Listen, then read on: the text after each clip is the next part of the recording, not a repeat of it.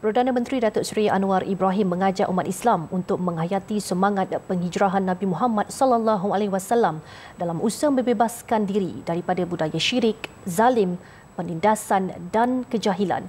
Menurutnya penghayatan itu mampu mengubah diri umat Islam ke arah yang lebih baik. Mari kita menghayati semangat hijrah itu. Bahawa yang unik istimewa dalam Islam itu ialah bahawa uh, hijratun Nabi itu bermakna pergerakan.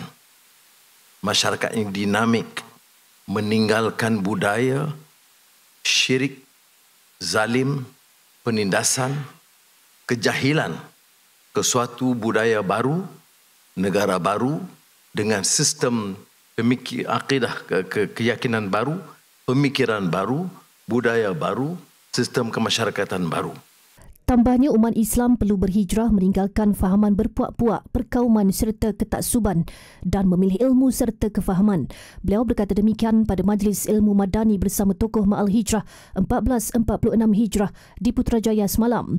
Tokoh Ma'al Hijrah Kebangsaan Datuk Seri Hasan Ahmad yang merupakan bekas mufti Pulau Pinang dan tokoh Ma'al Hijrah Antarabangsa Profesor Dr. Ali Muhyiddin Ali Al-Korodori yang merupakan Presiden Kesatuan Ulama Sedunia diraikan dalam majlis itu dan turut diberi penghormatan sebagai penceramah jemputan.